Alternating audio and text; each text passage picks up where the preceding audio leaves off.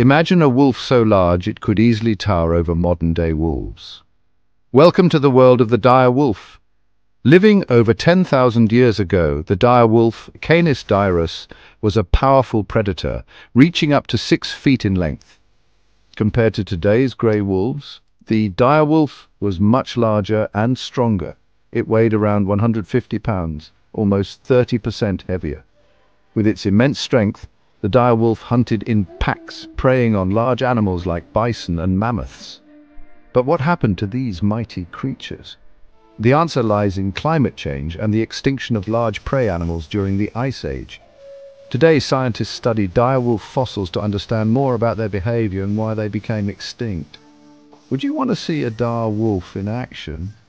Drop a comment below and don't forget to subscribe for more cool facts. Thanks for watching. Stay tuned for more amazing facts on our channel.